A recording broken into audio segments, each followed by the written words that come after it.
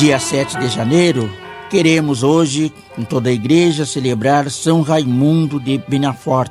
Raimundo nasceu em Barcelona no ano de 1175, da nobre família de Benafort, que tinha laços de parentesco com os reis da Espanha. Ainda jovem, Raimundo entrou para a carreira eclesiástica, demonstrando grandes dotes intelectuais e morais. Depois de concluir seus estudos, foi chamado pelo Papa Gregório IV, que lhe confiou a delicada tarefa de recolher, coordenar e codificar a legislação da Igreja, obra que levou o nome de Decretos de Gregório IV. Raimundo nutria profunda amizade ao grande teólogo Tomás de Aquino, a quem auxiliou graças a seus conhecimentos de línguas orientais.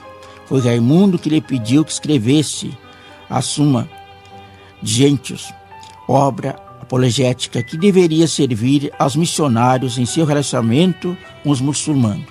Passam em Barcelona os últimos 35 anos de sua vida. Apesar de ter renunciado a todos os cargos, Raimundo continuou como capelão e penitenciário do Papa. Pedimos então que São Raimundo interceda por nós.